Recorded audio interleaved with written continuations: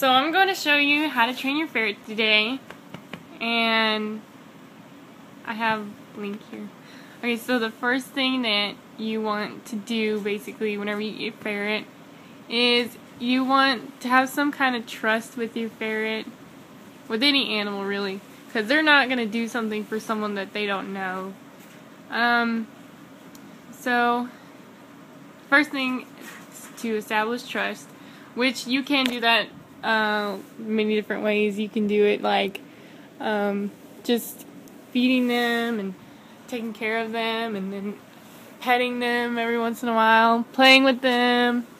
Um, and then, you know, you want your ferret to be okay with you.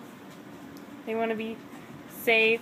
so whenever you got that down, you want to get to know your ferret and find out what they like, as in treats and things. And my ferrets, ugh, I have some treats here. Um, my ferrets. Okay, what I know about Link. he sees the treats now. Link likes raisins. These treats. Oops, sorry. These.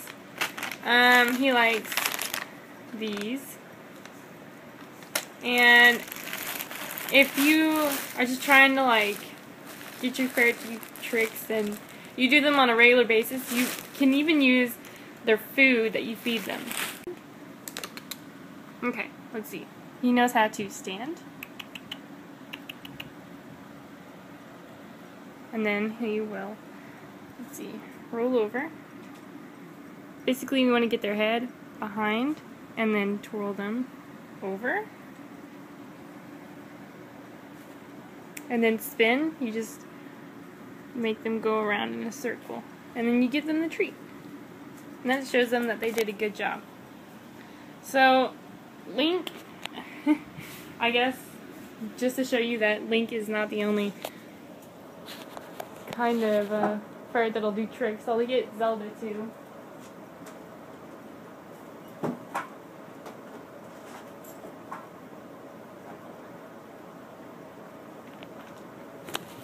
Okay, so I grabbed Zelda.